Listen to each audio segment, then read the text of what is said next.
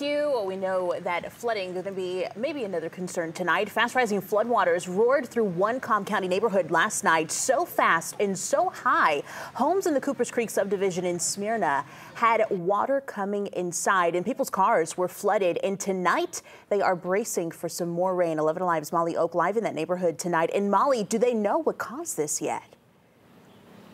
Well, the county says a lot of rain in a short amount of time is partially to blame. I mean, it flooded that street right behind me, just covered in water and into those homes. But when I spoke with the county, they said a clogged culvert is likely to blame.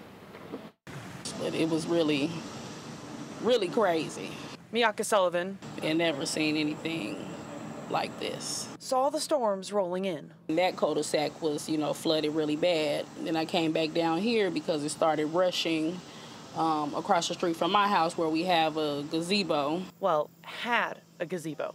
And about 20 minutes later, it just caved completely in. Ross Cavett with Cobb County says this area. There's a culvert that goes between this cul-de-sac and the one further down the road. Got a ton of rain in a short amount of time, clogging the culvert with debris. There's a car down there, there's a gazebo down there, and a bunch of trees and debris that went and hit that. Uh, culvert down and on this road where there's two 70 inch drain lines, collapsed one of them or both of them, and then completely clogged up the uh, drainage system. Displacing 19 people. Today, Cavett says emergency management was going door to door talking with folks in the neighborhood while crews try to figure out a fix.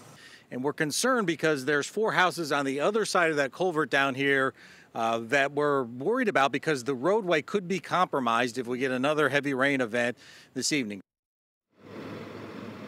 You know, Mayaka says that she's lucky because her house was sitting higher up, so she really just had a front row seat to watching all that damage rush through. She was on the other street, not this street behind me. She actually shared her prayers for the families affected. Coming up tonight at 5, we're taking you inside one of those homes where that family says they had five feet of water inside. For now, reporting live in Cobb County, Molly Oak, 11 Alive News.